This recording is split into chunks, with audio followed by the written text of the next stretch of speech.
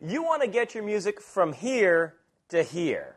I'm Rokaz, your digital lifestyle expert, and I'm going to show you how to get music from your computer or laptop onto your iPhone.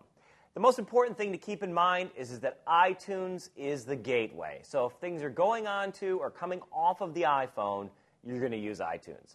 And if you're familiar with it, this is going to be a very easy process. If not, I'm going to walk you through it. Now, the first thing you want to do is go down to your devices, and you can see the iPhone listed right here. And I'm over here at music. Now, you can see in my case that I've chosen to sync music, all songs and playlists.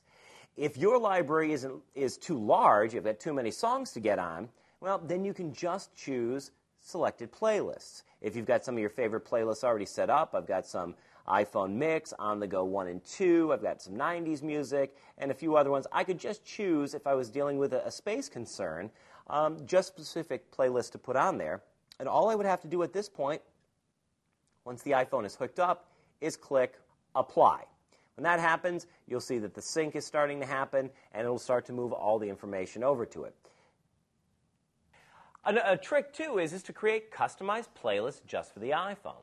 Um, so that way you may have rock, R&B, or just whole genres. You think, oh, today's Tuesday, I want this end of the library. Or, you know, be creative with it. These may not be playlists that you would use when you're sitting and have access to your full library, but ones that you can easily change in and out. When you sync your phone a, or charge it on a daily basis with your computer, all you have to do is click on one or deselect the other, hit sync, and you're ready to go.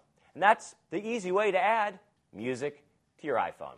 I'm Rokaz, your digital lifestyle expert. Stream you later.